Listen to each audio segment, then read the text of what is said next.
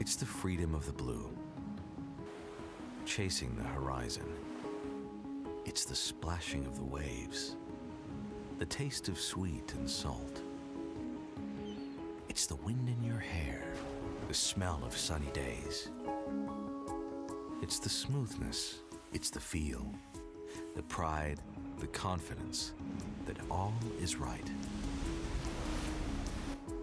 It's the brilliance and the shine, the light. That's the love for boating. It's our heart, our core.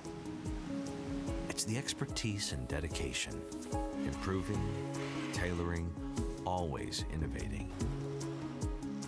It's above and below, and definitely beyond.